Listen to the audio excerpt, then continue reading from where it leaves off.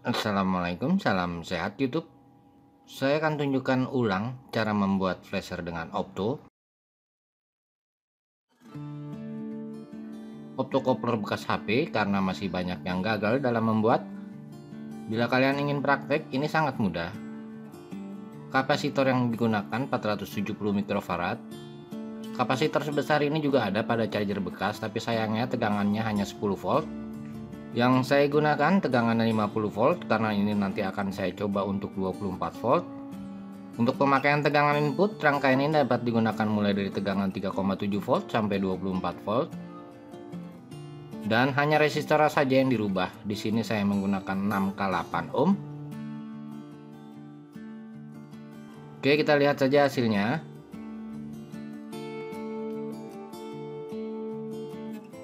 Ini positif ini negatif. Sudah nyala tapi belum kedip. Kalian perhatikan. Tegangannya akan saya naikkan.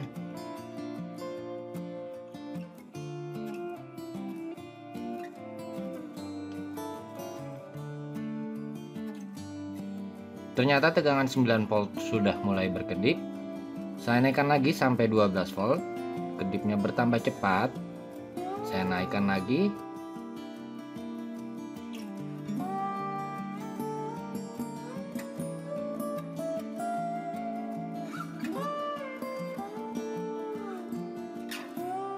Saya rasa kedipnya mulai stabil. Ini sebetulnya terang sekali. Saya coba matikan penerangannya.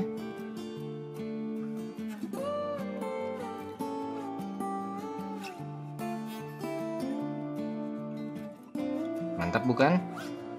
Perhatikan tegangannya akan saya naikkan sampai 24 volt. Rangkaian ini tidak ada yang dirubah,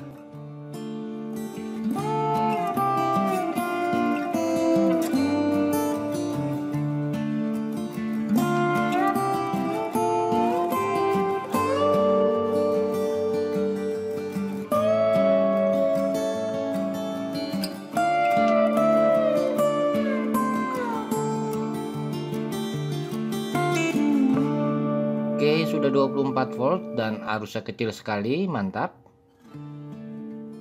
Ini akan lebih mantap lagi bila kalian beri lensa seperti ini. Oke, akan saya pasang dahulu. Dan lensa ini sudah saya coba, dalam jarak 10 meter cahayanya masih terlihat silau sekali bila kita menggunakannya. Pada jarak 10 meter cahayanya masih silau sekali bila kita melihat dan untuk membuat rangkaian ini menggunakan daya yang besar di video berikutnya saja. Oke bagaimana rangkaiannya? Sebelumnya kalian jangan lupa untuk mendukung channel kita dengan cara subscribe yang belum pernah tentunya. Bila ingin berlangganan secara gratis klik yang bernama lonceng. Oke rangkaiannya seperti ini. Super simple dan mantap Rangkaian ini sudah saya buat berdasarkan percobaan dan sedikit teori tentunya. Jadi sangat saya sarankan berapapun tegangan yang kalian gunakan dalam percobaan awal kalian harus menggunakan C1 sebesar 470 mikrofarad dan R2 100 ohm.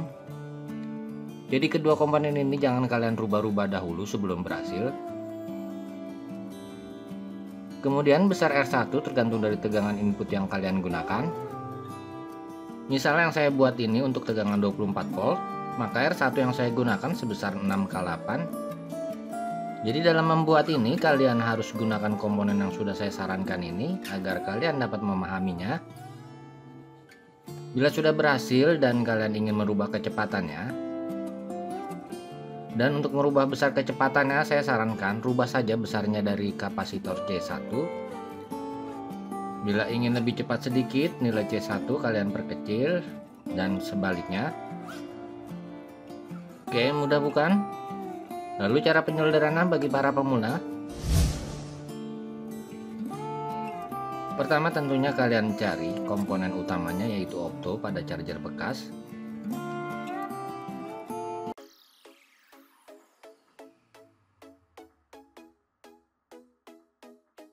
Dan untuk menentukan pin opto, kalian perhatikan yang ada sedikit lubang ya seperti ini.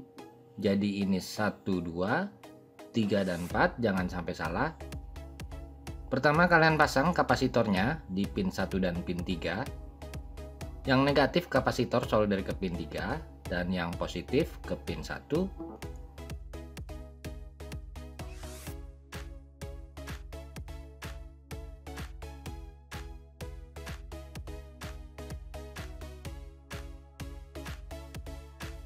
Perhatikan pin 1 ke positif dan pin 3 negatif kapasitor.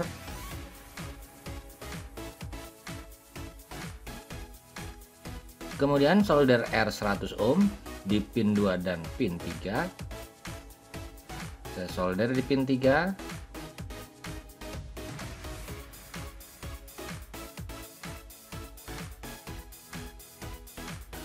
Dan pin 2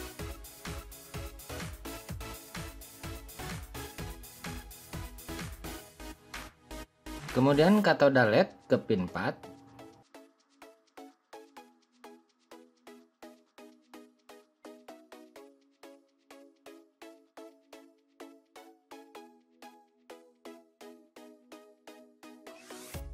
Lalu R16K8 ohm solder ke pin 1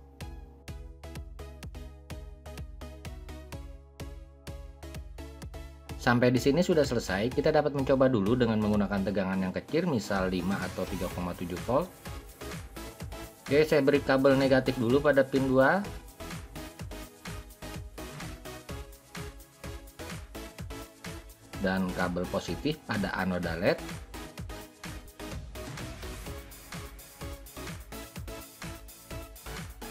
Oke, akan saya coba dengan tegangan 5 volt saja negatifnya. Positif saya pasang di anoda LED kemudian ujung R6K8 ohm kalian beri trigger. Bila lednya menyala artinya opto ini oke. Ya nyala artinya opto ini oke.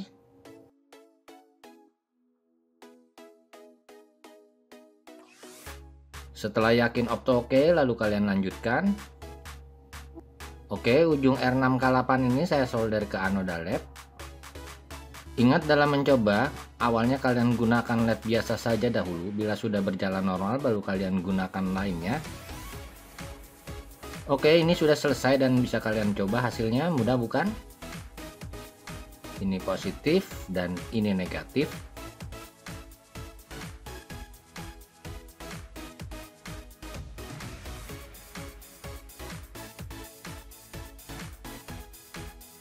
Oke, sudah menyala tapi belum berkedip.